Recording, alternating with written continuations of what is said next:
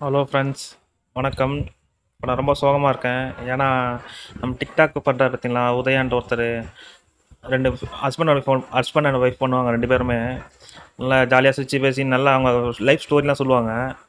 பார்த்தா அந்த உதயாவுக்கு வந்து திடீர்னு ஆக்சிடென்ட் ஆச்சுன்னு கேள்விப்பட்டேன். இப்போ தான் பார்த்தேன் நான் யூடியூப்பில் பார்த்தோன்னு ரொம்ப ஷாக் ஆகிட்டேன் அவங்க வீடியோ நல்லா நல்லாயிருக்கும் அவங்க லைஃப் பற்றிலாம் சொல்லுவாங்க.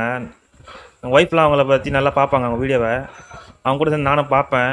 திடீர்னு அவங்க அப்படி ஆக்சிடென்ட் ஆச்சுன்னு சொன்னோன்னே ரொம்ப கஷ்டமாக இருக்குது அவங்களுக்கு ஹெல்ப் கேட்குறாங்க அவரால் இப்போ ஹாஸ்பிட்டலில் சேர்த்துருக்காங்க தனியார் ஹாஸ்பிட்டலில் அவங்களால முடிஞ்ச அளவுக்கு பத்து லட்சத்துக்கு மேலே செலவு பண்ணிட்டாங்களாம். அவங்க கையில் சுத்தமாக காசு இல்லை. நம்மளால் முடிஞ்ச உதவி ஏதோ பத்து இருபது ஐம்பது நூறு உங்களால் முடிஞ்சது. எதனா ஹெல்ப் பண்ண முடிஞ்சால் பண்ணுங்கள் நம்ம சேனல் மூலியமாகவும் யாருனா ஒரு ஹெல்ப் பண்ண சொல்லி நான் இந்த வீடியோ போடுறேன். ஹெல்ப் பண்ணணும்னு நினைக்கிறவங்க இதை ஹெல்ப் பண்ணுங்கள் அதுவும் இல்லாமல் இவரை பற்றி இவருடைய எதிர்நாள் ஆக்சிடென்ட் ஆச்சு அதெல்லாம் தெரில ஆனால் இப்போ எங்கே இருக்காரு என்ன டீட்டெயில் வேணும்னா நான் ஒரு சேனலுடைய பேர் உங்களுக்கு இந்த வீடியோலேயே கொடுக்குறேன். அந்த சேனலில் போய் பாருங்கள் அவரை பற்றி கரெக்டாக என்னென்ன ஆச்சுன்னு நல்லா கரெக்டாக சொல்கிறாங்க நான் டீட்டெயில் சொல்ல தெரியல எனக்கு.